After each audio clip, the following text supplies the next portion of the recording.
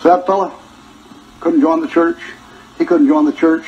He couldn't get baptized. He couldn't get baptized. He woke up with God. He woke up with the devil. Are you saved?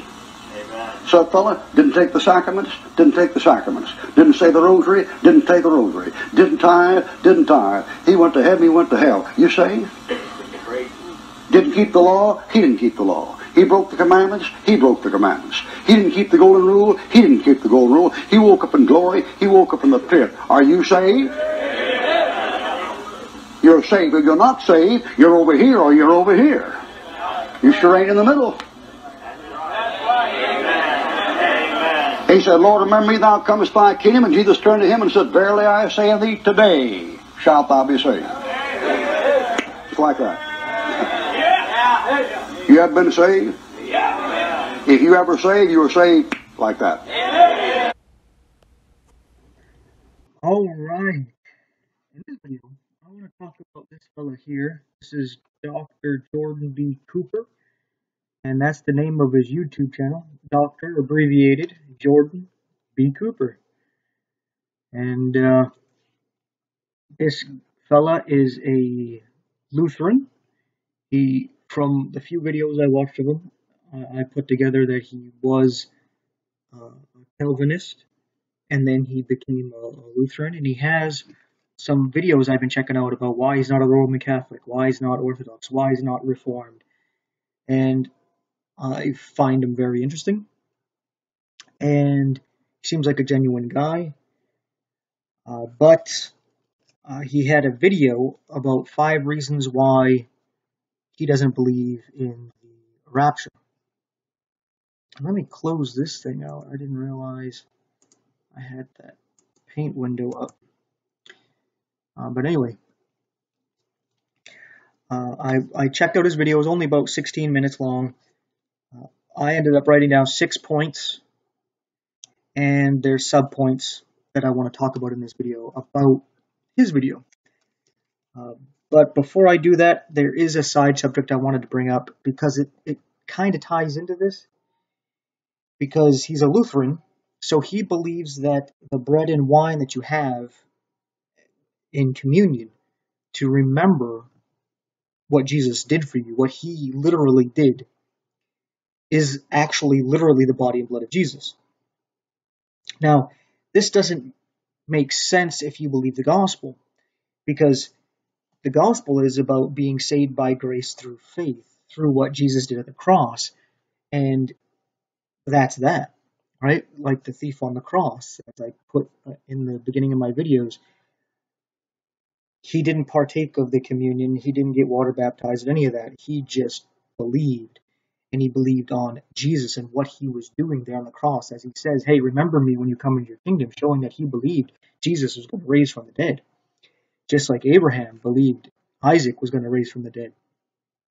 And uh, if you believe that, it kind of contradicts the belief that the bread and wine is literally the body and blood of Jesus, because that would mean, as Jesus says, if you want eternal life, you have to eat of his flesh and drink of his blood.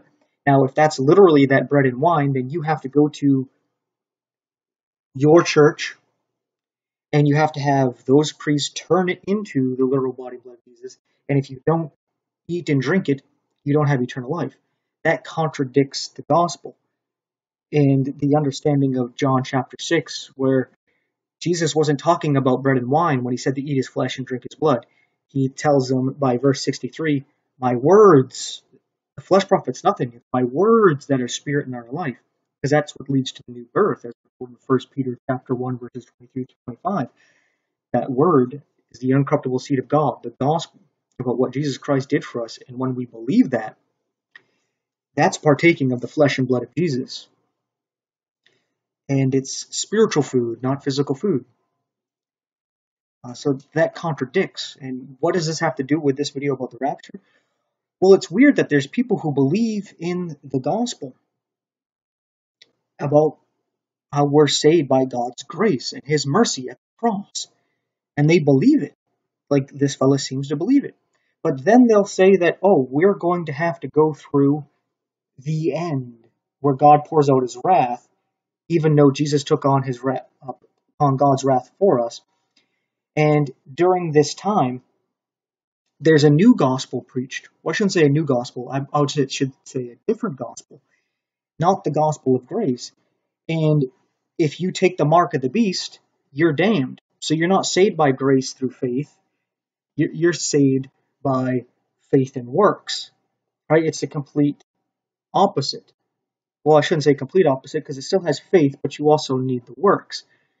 Uh, an example, I have Revelation 14 here to show this. In Revelation 14, verses 6 and 7, it says, And I saw another angel flying in the midst of heaven, having the everlasting gospel to preach unto them that dwell on the earth, to every nation and kindred and tongue and people, saying with a loud voice, Fear God and give glory to him, for the hour of his judgment is come, and worship him that made heaven and earth and the sea and the fountains of waters.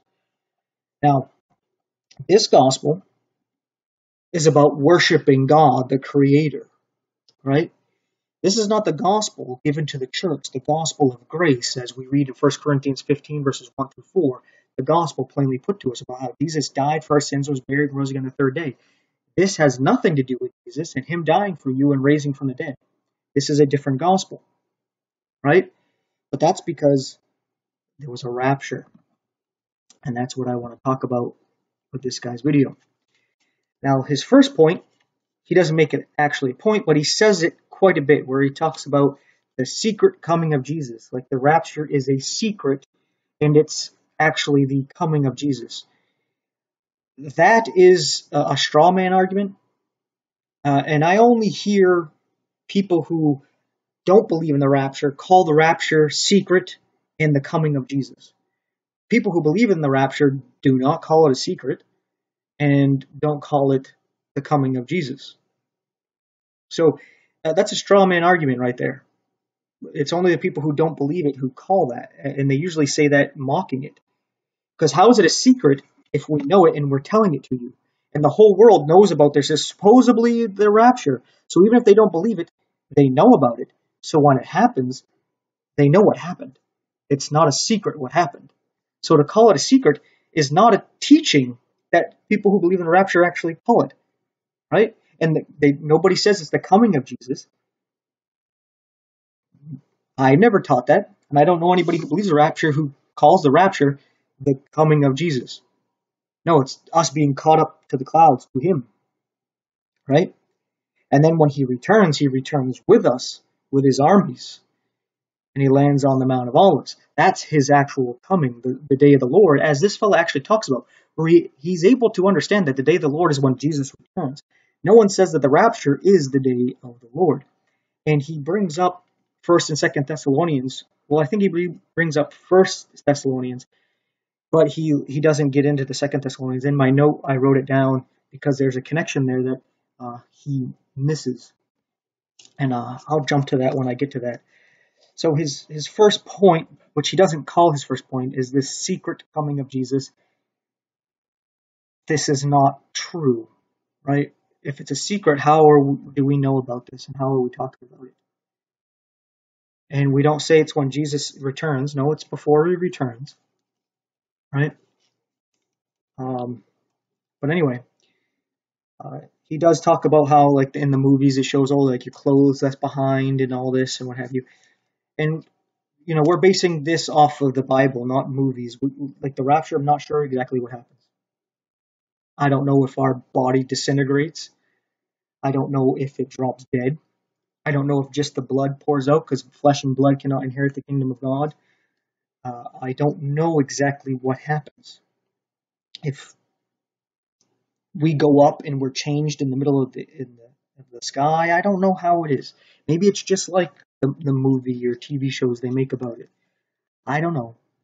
But that's not a doctrine. It doesn't quite say in the scriptures. You can put things together and kind of speculate, but you're not going to be able to really put it together.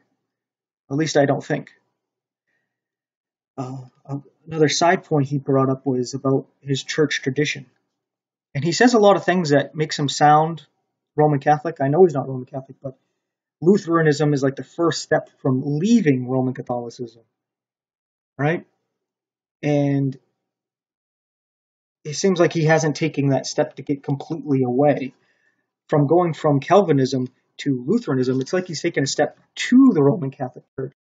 Not that Calvinism is true, but I see Calvinism as part of the Roman Catholics' counter Reformation to counter things like Lutheranism, where people were leaving the Roman Catholic Church, but they didn't quite leave everything. And then as the Protestants grew in their knowledge of God and they started drifting further and further away from Roman Catholicism, such as getting away from the Eucharist and believing it's literally the body and blood of Jesus, for example. They, they got away from all that, but he seems to have diverted backwards, going back to the Roman Catholic Church by becoming Lutheran. Uh, but uh, yeah, so when he brings up this point saying his church tradition, it's like, so, so what? Traditions are traditions. They might be true, they might not be. There might be some truth into them, there might be no truth to it. What we do know is that the scriptures are inspired and they're perfect. We don't have to worry about, oh, some of it might be true, some of it might not be. We have to flip a coin or something. No. We actually can take the scriptures and then we can test the traditions to the scriptures, right? Just like we would go to Roman Catholicism and test their traditions to the scriptures and go, oh, that doesn't line up, right? Something uh, real quick as an example would be Mary. The Roman Catholic Church tradition says that Mary is a perpetual sinless virgin. But in the scriptures, we're told clearly that she marries Joseph and is his wife, so she has to perform the wifely duties or else she is sinning. And then she even refers to God as her savior, showing again that she's a sinner. And then she offers up two turtle doves according to the law of Leviticus 12 one turtle dove for a burnt offering, the other one for a sin offering, again showing she's a sinner. And then we read about Jesus' brothers and sisters, where it actually names, I believe, four of his brothers in one of the Gospels. I just remember Joseph and James are the only ones I can remember. I think there might have been a Judah or Judas as one of his brothers too. But don't quote me on that third one there. Uh, but uh, yeah, so she's not a perpetual sinless virgin. The tradition says she is, but the tradition is wrong because it doesn't agree with God. And that that's that simple, right?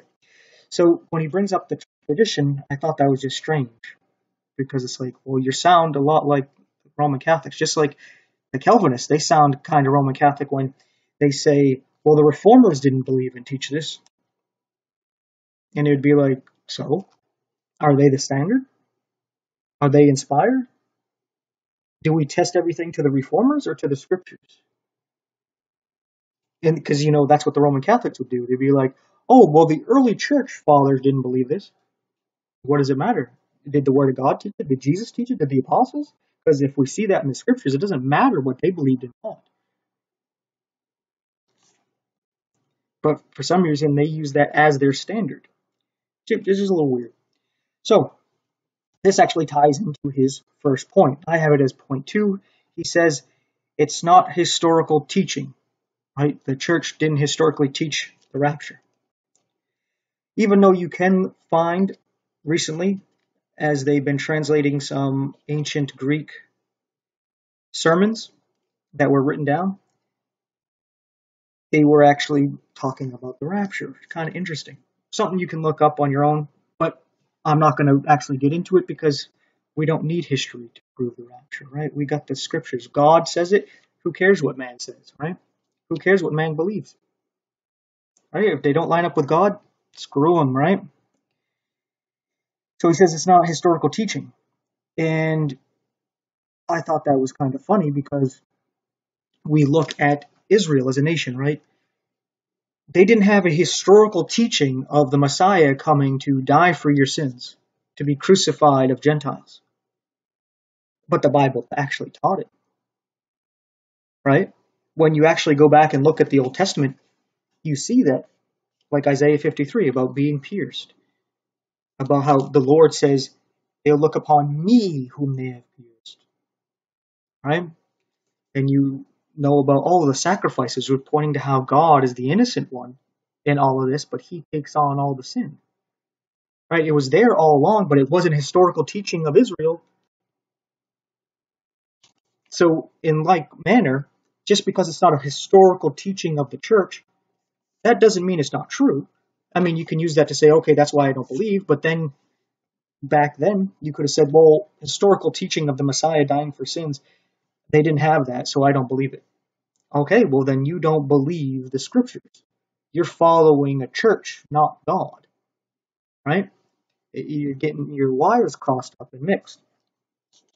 And he brings up Darby, that Darby is the one that uh, started this in like the 19th century, in the 1800s there.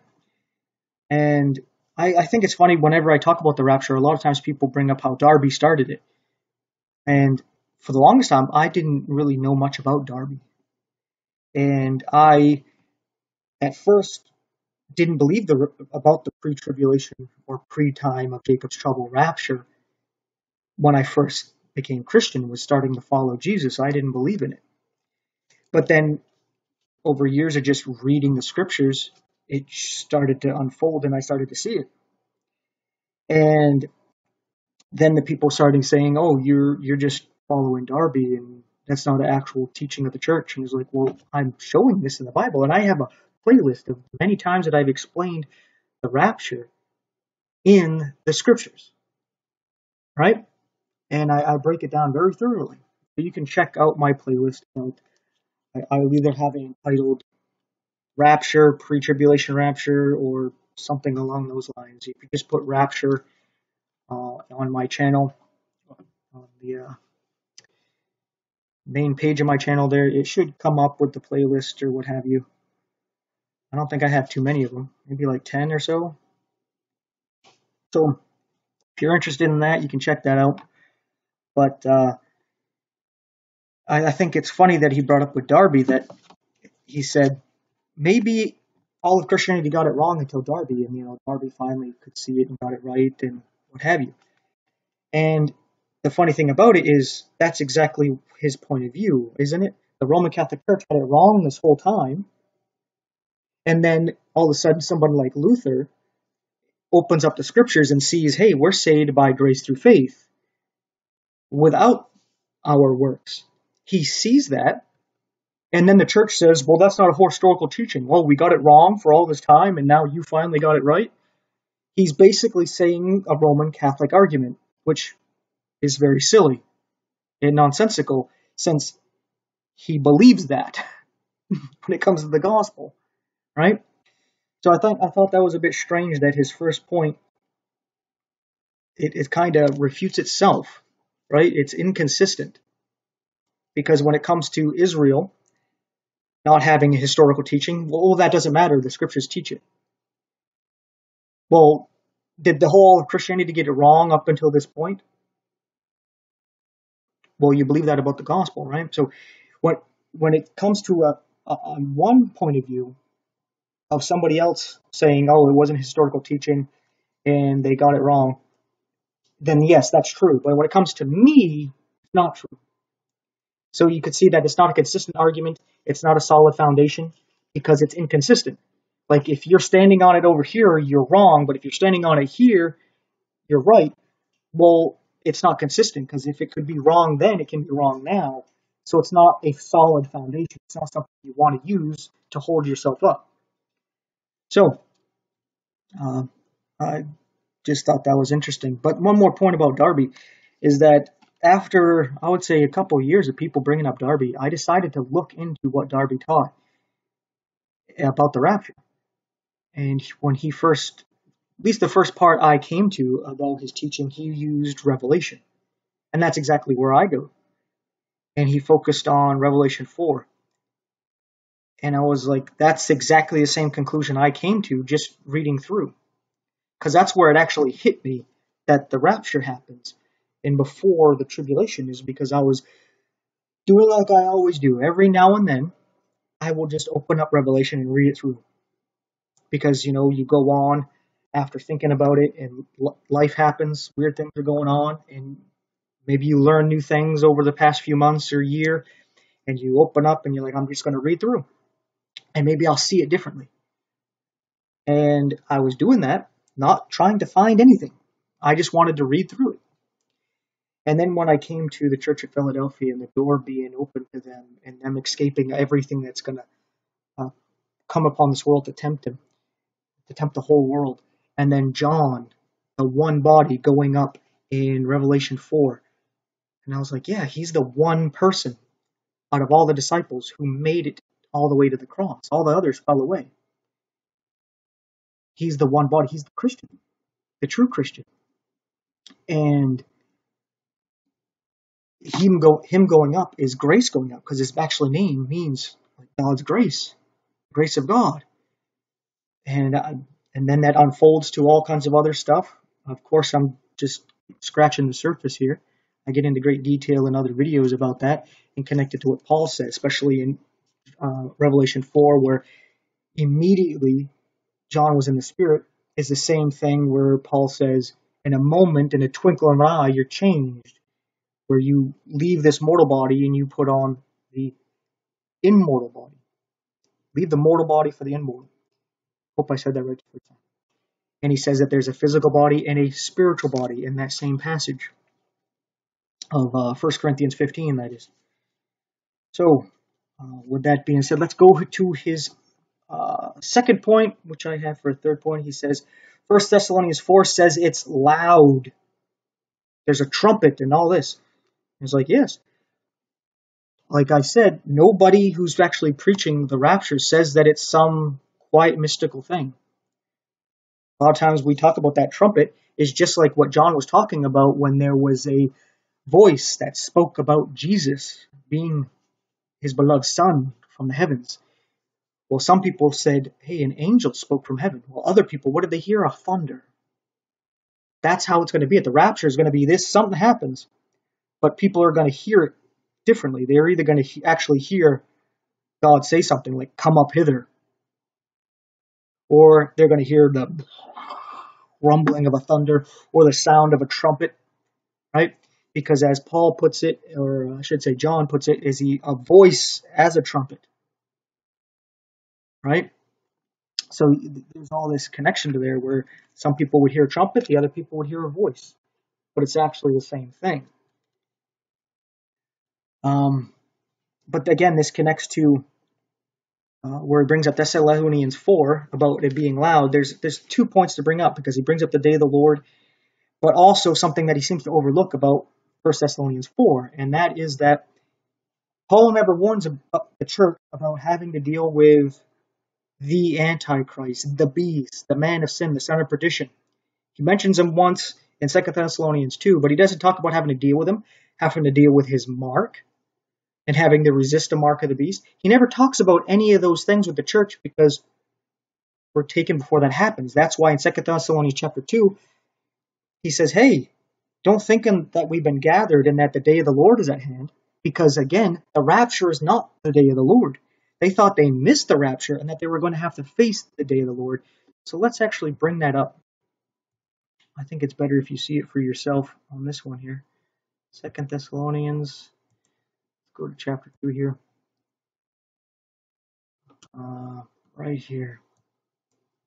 Now, First Thessalonians 4, like he already brought up, he was teaching about the rapture. He didn't say anything about any antichrist or what have you. But you see, these people are in fear because they thought they missed it. You know, maybe people were teaching, oh, Jesus already went up and he already took his people with him. Who knows how they were trying to say the rapture already happened? Maybe the people who raised up with Jesus actually were raptured too, right? With Jesus. But anyway, uh, let's look at what it says here in 2 Thessalonians 2 in the first two verses here. It says, Now we beseech you, brethren, by the coming of our Lord Jesus Christ, and by our gathering together with him, that ye be not soon shaken in mind or troubled, neither by spirit nor by word, nor by letter as from us, as that the day of Christ is at hand. Why is he saying that? You see, the day of Christ, the day of the Lord, is not at hand. You see, when the rapture happens, that's when you know the day of Christ is at hand. Right? You look at Revelation chapter 4.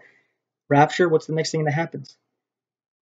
Revelation 6, the seals are opened. The time of Jacob's trouble has begun. That's why we have a different gospel in the Revelation. That's why you read about 144,000 Jews that are sealed. Because it's not about the church. The church, there is no Jew or Gentile in it. You become a whole new creature. Right? But in there, you, in Revelation 7, there's 144,000 Jews and a great multitude of Gentiles. It has them separated because it's not the church. Right? The church is gone. That's why the church is not mentioned. Anymore after uh, Revelation 3, and I guess you could say it's mentioned in 4 and 5 in heaven, but after that it's not.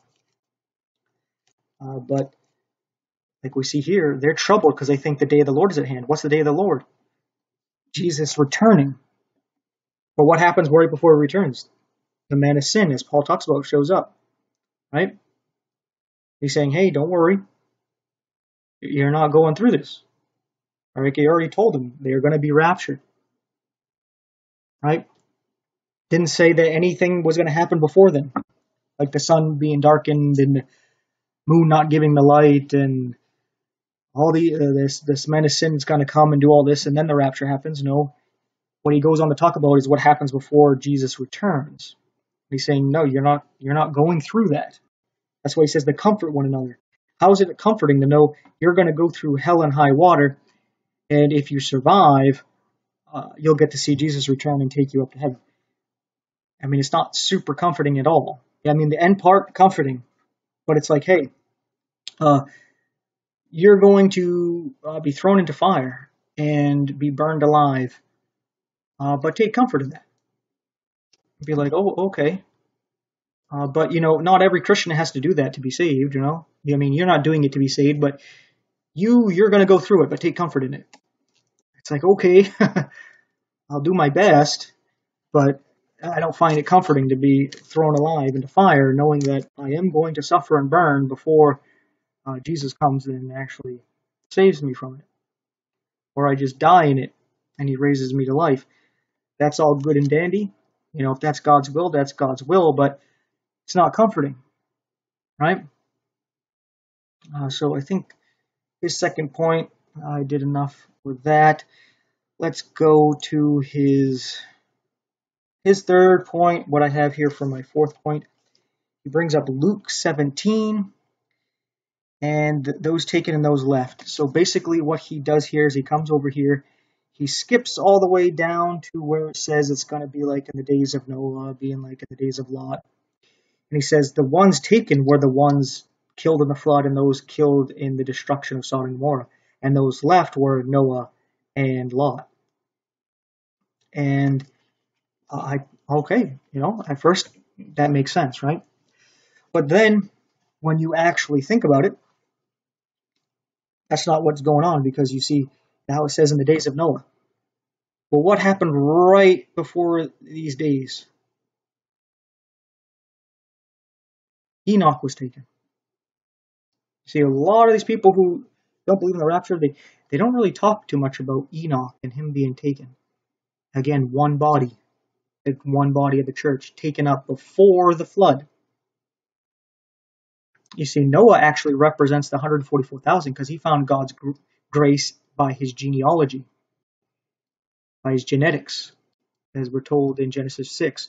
So it's just like the 144,000 Jews. They found grace because they have certain genetics, right? They're Jewish from a bloodline that God gave a promise to. That's very gracious, right? They didn't do anything to earn or deserve that. They just happened to be born into that family. Praise God. And they get protected through that. They get sealed because of that, because of the promise of God, because God is good, because He's great, merciful, and gracious, right? Not because they did anything special, right? And uh, yeah, so that's what Noah seems to represent there, right? The the actual 144,000 going through the tribulation there, and then with Lot, you have Lot taken out of Sodom and Gomorrah before it's destroyed. He seems to think that oh, you know, Lot was left and they, the people burned up were taken. But that's not what happens. You see, Sodom and Gomorrah would represent the world. Lot was taken out by the angels. Then Sodom and Gomorrah was destroyed. Right? And where was Lot told to go? To the mountains. Right? To go up. Elevate. So you see the story of Lot told go up to the mountains. That's where he was supposed to go. He didn't want to go there right? Because he was a worldly guy. Like a lot of Christians, they don't want to be taken, but they're going to go kicking and screaming if they're born again. But he didn't want to go up to that mountain. And uh, then when he's actually taken out of Sodom and Gomorrah, it's destroyed. And then he was like, you know what? I should probably go up to that mountain. All right. So uh, anyway, uh, let's actually take a look at this and what he brought up from. Uh, I don't think he brought up Matthew, but what he said reminded me of Matthew. I think he brought up actually Mark. But I wanted to show that this is actually taught uh, because he made a point. The last point he was saying was that Jesus doesn't teach it. And I think that's a big misunderstanding because a lot of what Jesus said has nothing to do with the Christian church at all. Right? He's speaking to Jews under the law. So uh, a, a lot of what he's teaching has nothing to do with us. Like Matthew, for example, he says twice there about how he's sent only to the lost sheep of the house of Israel and tells his disciples not to go out to the Samaritans who are half Jews or to the Gentiles who are not Jews at all, just to Israel, just to the Jews. Because that's what he was coming to do, right? To establish the kingdom of heaven, which is the physical kingdom of Israel, where he would reign as king in Jerusalem. But they rejected that, right? So a good chunk, matter of fact, it seems like the most, especially in the whole Gospel of Matthew for the most part, uh, is directed to the Jews under the law. Right? So you need to take those kind of things into consideration, into context. Right? Like a lot of people like to take Hebrews and they say things out of Hebrews that don't make sense, not taking into consideration that Paul is talking to Hebrews, to Jews under the law who are used to something like animal sacrifices for their sins. So when he's saying certain things, he's talking to a certain group of people in a way that they would understand. He's not talking to Gentiles not under the law. Right? So, yeah, the context, and part of the context is who is being talked to. Right? So, anyway, uh, let's actually take a look at what it says here in Luke 17. We're going to start at verse 22. I think he started at verse 31 when he did it, but then he came back because he talked about one left, one taken, right? And he's saying, uh, Where, Lord? He left out verse 37 where he's asked, Where are they taken to, right? And he says, Where the body is, there will the eagles be gathered together. So you see how he's saying, Where are they going to be taken? Where are the eagles gathered when there's a body? In the sky, in the heavens, right? So you see that's where they're taken to. He left that part out conveniently, right? And he also leaves out this part up here. Starting at verse 22, in Luke 17, it says, And he said unto the disciples, this is Jesus, he's the one saying unto them, he's the he here. The days will come when ye shall desire to see one of the days of the Son of Man, and ye shall not see it. And they shall say to you, See here, or see there, go not after them, nor follow them. For as lightning that cometh out of one part under heaven shineth unto the other part under heaven, so shall also the Son of Man be in his day. So you see what he says here about how lightning goes from east to the west, like he says it in Matthew, right? One part of heaven to the other. Lightning is like, boom, just like that. You may see it, you may like, hey, did I just see a flash? What was that? Is that lightning? But if you're not looking directly at it, it's like that, and you're just kind of like, did I just blink really fast? What was that? Right? If you're not paying attention, you may not even really realize it.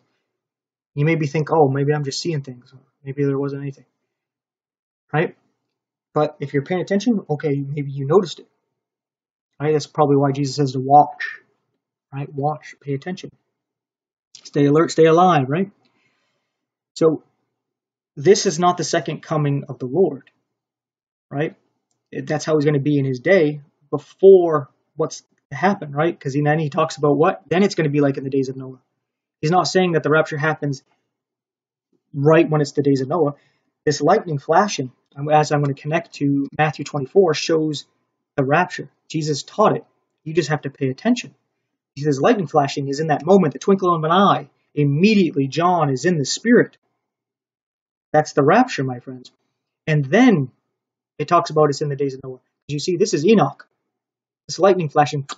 He was there and he's gone. Where's Enoch? Nobody knows. It was like lightning, gone. Here one day, gone the next. Like, what happened to him? Everybody looked for him, nothing. No sign of him. It doesn't say there's any sign of his clothes either. It doesn't say there was blood, just like he's gone. Uh, it doesn't say there's any trace of him or anything. So that's probably how the rapture is going to be. He's like, he's where is he? Or like Elijah, he was taken up without dying to heaven too, and he was taken up in body and his clothes. So perhaps he was changed on the way up, and there is nothing left. Like no garments fell, no blood, no body. All of it was changed, right? I don't know. That's that's the evidence we got from the scriptures, right? So it's the way we should probably look at it. Uh, but uh, some of the shirts I wear, I, I kind of hope when I'm taking up these shirts fall down and people see it, right? So, because a lot of shirts I wear, like the one I'm wearing right now, says something about the rapture. So it'd be cool if they just see a, a pile of clothes and then a shirt that's on top says something about the rapture, and then oh, okay, I got to get straight with God, right? Hopefully that's where their mind goes anyway. Sorry for jumping all over the place. Uh, but uh, uh, then it says, you know, their life is going to go on like it did, just like when Enoch left. oh yeah, well, he was gone, and then they just went about their lives, right? And then it's likewise, it's like the days of Lot, right? Doing whatever they're doing. Boom, Lot's gone. Then they're destroyed.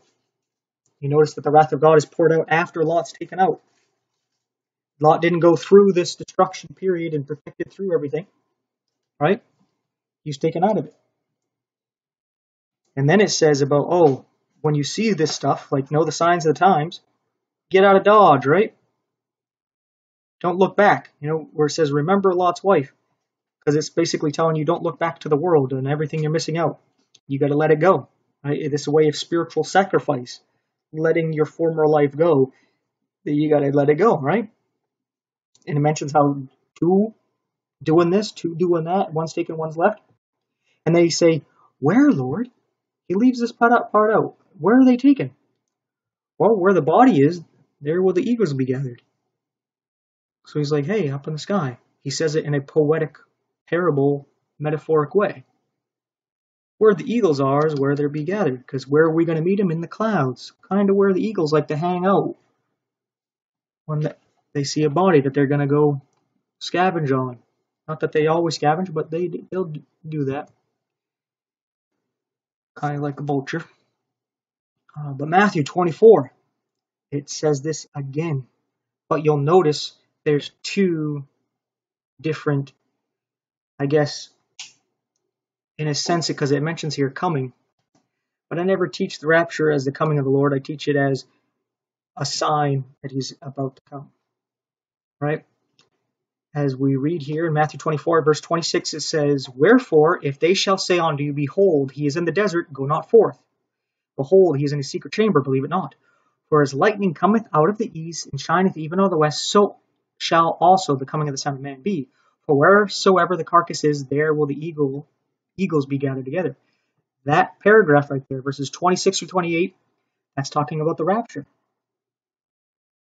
Right there, that lightning then it says, Immediately after the tribulation of those days shall the sun be darkened, and the moon shall not give her light, and the stars shall fall from heaven, and the powers of the heaven shall be shaken. So you see the order of events rapture, tribulation. Then it goes on to say, And then shall appear the sign of the Son of Man in heaven, and then shall all tribes of the earth mourn, and they shall see the Son of Man coming in the clouds of heaven with power and great glory. This is different from lightning, right? Because he's coming on clouds. You see him coming. Lightning, if you weren't paying attention, you didn't really see it. This you see. He shall send his angels with a great sound of a trumpet. They shall gather together his elect from the four winds, one from end one end of heaven to the other. You see that last part there, they'll say, Oh, that's the rapture. No. Because you see the clouds that Jesus comes on, this part is just lightning. But then when he returns, he's with the clouds. The clouds is actually not just like a cloud like you see in the sky. It's a cloud like a swarm, an army, like a cloud of bees or locusts, but it's the cloud of the armies of heaven, all of us with Jesus returning. As he returns with ten thousands of his saints, as Moses and Jude tell us. And apparently Jude says that Enoch says that as well. Uh, so this part here, the elect, happens to be those Jews. You know how there's 144,000 of them all over the earth, and then there's all these Gentiles that have served God and they're they are living through this time. Well, the elect, He's going to gather them and bring them from one end of heaven to the other to Israel, because He's going to establish His millennial kingdom. Right? So you can see the order of events here, and you see it clearly when you let the Bible explain itself and you compare the Bible to the Bible. And a lot of times you need to get rid of the church traditions, and I think that's where I have a bit of advantage over a lot of Christians because a lot of Christians they grew up in a church, in a denomination. So they have a lot of preconceived beliefs, they have a lot of traditions, and they hold to them. Right? And it's kind of ingrained in them. I did not grow up Christian. And this allows me to just look at it from an outside point of view and just focus on the Bible without any preconceived ideas or beliefs and without any traditions getting in the way. And I can just take God for what he says and not argue with him saying, well, that disagrees with the church. I'm following the church. Well, it doesn't line up with the traditions, right? And uh, I hope bringing this up allows people to accept that as well. But a lot of times, you know, the pride gets in the way. Like this guy seems genuine, fairly humble, I guess. But then talking to him about something like this, you get to see the spirit there. Sometimes he doesn't really want to hear this, right? We'll, find out his spirit because these kind of things, like I said, they reveal that where people, you, you think they believe the gospel, right? But like I was telling, saying in the beginning of the video, you believe the gospel that contradicts some of your other beliefs, right? Like these people who believe in some kind of mid-trib or post-trib uh, rapture. How does that make sense with the mark of the beast? It just doesn't line up because it's a different gospel being preached in this time by an angel flying through heaven. Where you're not going by sight anymore. I mean, you're not going by faith anymore. My bad, I got it mixed up. You're not going by faith anymore. You're going by sight. The angel's there talking, saying, "Hey, this is the gospel." Right, and it's a different gospel than what's being preached by the Bible to the Christian church by Paul in this church age here. But uh, yeah, he brings up with his, I guess, his fourth point. I already talked about his fifth point, which was my sixth point. Jesus didn't talk about this. I already brought that up, so we got that done with. So let's go to his fourth point. He says, 1 Corinthians 15, uh, he says it doesn't talk about two comings, right? And again, he doesn't talk about how it never brings up having to deal with uh, a great tribulation, the time of Jacob's trouble, the beast and his mark. Doesn't mention any of that. Matter of fact, it just says, hey, yeah, I know you feel sad about some of your family and friends who are Christians that have died, but don't worry, God's going to raise them up. And those of us who are alive and remain when He comes, we, we're going to be going up with them, right? But not before them, right?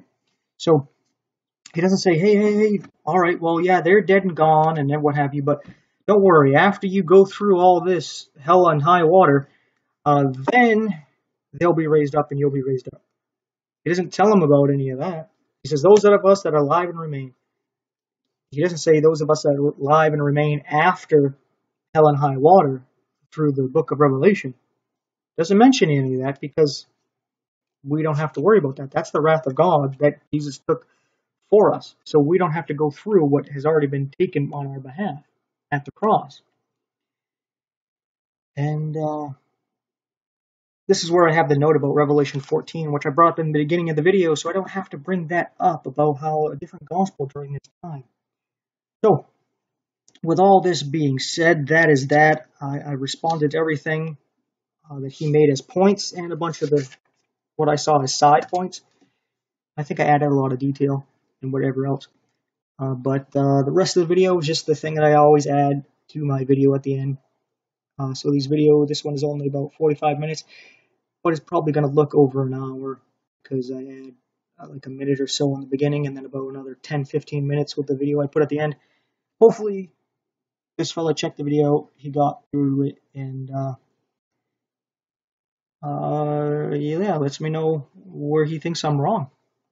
And I, I hope he stops saying that it's a secret and what have you, because uh, everybody seems to know about it. It's kind of weird. And uh, so many people tell me that there isn't a rapture. So they know about it. It seems like the problem is they don't believe it. So anyway, with all that being said, thanks for watching. Take care. Alright, I just wanted to make a quick video here to put at the end of all my videos encouraging you to prayerfully get into the scriptures. As we read here in Hebrews chapter 12 at verse 2, it says, Looking on to Jesus, the author and finisher of our faith. And this is very interesting that it refers to Jesus as the author of our faith. An author is somebody who writes. And in Romans chapter 10, verses 16 and 17 it says, But they have not all obeyed the gospel, for Isaiah saith, Lord, who hath believed our report? So then faith cometh by hearing, and hearing by the word of God. So you see here how Jesus is the author and finisher of our, finisher of our faith, and how you get faith from hearing the word of God. Jesus is the word of God the Bible, the scriptures are the written word of God. It is God in our world. It's God's representative in our world, and that would be the King James Bible. And if you're saying it doesn't say read, it says hear, well, then read it out loud, my friends. I know some of you are wise asses, and that's what you're going to say. Well, then read it out loud and you build your faith. And you notice how obeying the gospel here is about believing it. That's how you obey it. The gospel is the good news of our salvation. How Jesus Christ died for our sins, was buried, and rose again according to the scriptures. But coming back to the word of God here, we are told in Isaiah 34:16, "Seek ye out the book of the Lord and read." This is very fitting because Isaiah has 66 chapters, just like there's 66 books in the Bible. And if you do a study on this, you can see that each chapter of Isaiah lines up with each book of the Bible. The first chapter for Genesis, the last chapter for Revelation. Have fun doing that. And why should you seek out the book the, of the Lord and read? So that Jesus never tells you this, ye do err not knowing the scriptures nor the power of God, as we read here in Matthew 22 29, when he's talking to the Sadducees who are coming to him with a very silly question that anybody could answer if they actually knew the scriptures. But you see, the Sadducees, they didn't use the whole Old Testament, they just used Moses. So they didn't get the light from the Old Testament to help you understand the Torah. Just like the New Testament shines light and helps you understand the Old Testament. None of it adds or removes from what Moses wrote. It helps you understand what Moses wrote. That's why Isaiah tells us here in Isaiah 8, verse 20, to the law, which is the instructions, the Torah, what God told Moses to write. That's Genesis, Exodus, Leviticus, Numbers, Deuteronomy, first five books of your Bible there.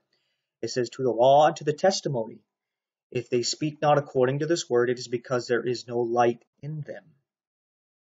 So you see, you test the people to see if they actually have light in them. There's people who have an outward show of light, as Satan himself can come as an angel of light and his ministers as ministers of righteousness. But how do you test the spirits to see if there's truly light in them? They have to line up according to the scriptures. Jesus was not afraid to be tested of the scriptures. He would say, Have you not read? It is written to search the scriptures, bring them up. They testify of me. Right? He wasn't worried about that. Paul wasn't either. Acts 17:11. He wasn't worried about being tested of the scriptures. He didn't make some nonsense about you can't understand the scriptures. You need me to interpret them. No, he, he actually called the Bereans noble for hearing what he had to say and then searching the scriptures to see if it was so. Because that's what we're supposed to do. If you don't line up with the scriptures, you're not of God. Very simple, very easy. God made it very easy for us to know him and to know who is not of him. He gave us his word, and it's super simple. If it doesn't line up with him, then obviously it's somebody else trying to say that they're from him, a stranger trying to kidnap you, right? What does Jesus tell us about the word in John 17, 17? He says, Sanctify them through thy truth. Thy word is truth. So, you Christians that want to be sanctified, and you're trying to sanctify yourself by repenting of all your sins so that you become sinless, you want that sanctification. You need to get into the word because when you have the word abiding in you, God changes you from the inside out, where you're not making the change, where you sanctify yourself by becoming some sinless being by focusing on your sins and fighting against them. No, that's just cleaning the outside of the cup and containing your sinful nature. You need to come to Jesus to be born again, sealed with his Holy Spirit, and become one with his Spirit. And as Jesus says in John 6:63, his word is spirit and it is truth. Flesh profits nothing. You get into the word, you are partaking of the Spirit of God, and God's Spirit is life giving, as we see in Genesis, bringing life to, things that have no life. You want that life, you want to be sanctified, you need to get into the Word. As we're told here in Ephesians chapter 5, verses 25 through 27, husbands, love your wives, even as Christ also loved the church and gave himself for it, that he might sanctify and cleanse it with the washing of water by the word, that he might present it to himself a glorious church, not having spot or wrinkle or any such thing, but that it should be holy and without blemish. So, how do you receive this cleansing? By getting into the Word. It is Spirit. The Spirit is in reference to water. You want that cleansing? Get into the Word. That's where you are going to be sanctified, so that you would be without spot or wrinkle or any such thing, no blemish whatsoever. You need to get into the Word so that Jesus is abiding in you and you are abiding in Him. You see that? So, moving on to this last verse here, John 17, 3. And this is life eternal, that they might know thee, the only true God, and Jesus Christ whom thou hast sent. Because the only way to know the Father is to know the Son. You can't come to the Father without going through Jesus. When you know Jesus, you know the Father, because they are one. Jesus is the Father in the flesh. And eternal life is to know them. That's why Jesus says in Matthew 7 to these people who are doing a lot of great works in his name. They're prophesying in his name, they're casting out devils in his name, they're doing many mighty works in his name. And Jesus says, I never knew you. You see, you're saved not because of your works, not because you repented of your sins, not because you're perfect and you've deserved it and you've earned it somehow, that you've proven yourself. No, you're saved because of your relationship with God. If you've come to the cross and have been born again, then you are sealed with the Holy Spirit of God. You become one spirit with the Lord. There's no way Jesus can say, I never knew you, because he knows you. He made you anew at the cross. He knows you intimately. You're saved at that point. You need to have that deep relationship with God. Just as Adam knew Eve and she conceived, you need to know God on that level where you are born again. You receive the Word of God, which is the seed of God, into your heart, which would be your womb. I know as a man you might not want to think of that, but that's how it is. Eat the humble pie so that you receive the seed of God, that you may be born again. You see, the women help us understand our role to God. Because to God, we are the bride, the bride of Christ. We are as the woman. So you need to eat the humble pie, receive the seed, so that you can be born again. But a lot of Christians, they are just like a lot of women today. We don't need a man. So they're never going to be born again. Right? A lot of Christians, we don't need God. We can do it ourselves. They take on the name Christian. Christians seem to be the easiest people to fool. Because all you got to do is say you're Christian. And they'll follow after you.